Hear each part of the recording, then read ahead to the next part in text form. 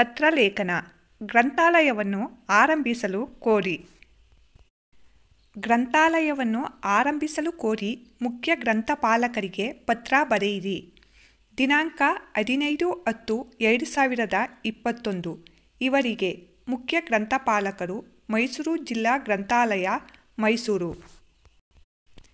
ಇವರಿಂದ ಕೃಷ್ಣಶಾಸ್ತ್ರಿ, ತಂದೆ ಗೋಪಾಲ ಶಾಸ್ತ್ರಿ ರಾಮಾಂಜನೇಯ ಬಡಾವಣೆ. ಮಳವಳ್ಳಿ ಮಳವಳ್ಳಿ ತಾಲೂಕು, ಮೈಸೂರು ಜಿಲ್ಲೆ.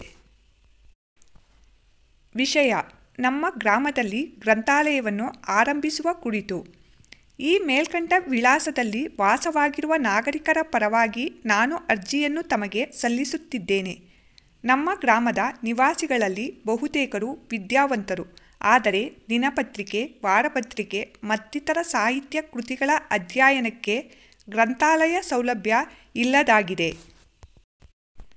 ತಾವು ದಯಮಾಡಿ ನಮ್ಮ ಜ್ಞಾನ ವೃದ್ಧಿಸಲು ನಮ್ಮ ಗ್ರಾಮದಲ್ಲಿ ಗ್ರಂಥಾಲಯವನ್ನು ಆರಂಭಿಸಿದಲ್ಲಿ ವ್ಯಾಸಂಗಾಸಕ್ತರಿಗೆ ತುಂಬ ಉಪಕಾರ ಮಾಡಿದಂತಾಗುತ್ತದೆ. ನಮ್ಮ ಈ ಮನವಿಯನ್ನು ಪುರಸ್ಕರಿಸಿ ಈ ಕೂಡಲೇ ಕ್ರಮ ಕೈಗೊಳ್ಳಬೇಕಾಗಿ ವಿನಂತಿಸಿಕೊಳ್ಳುತ್ತೇನೆ. ವಂದನೆಗಳೊಂದಿಗೆ ನಿಮ್ಮ ನಂಬಿಕೆಯ ಸಹಿ ಕೃಷ್ಣಶಾಸ್ತ್ರಿ, ಮತ್ತಿತರ ನಾಗರಿಕರು.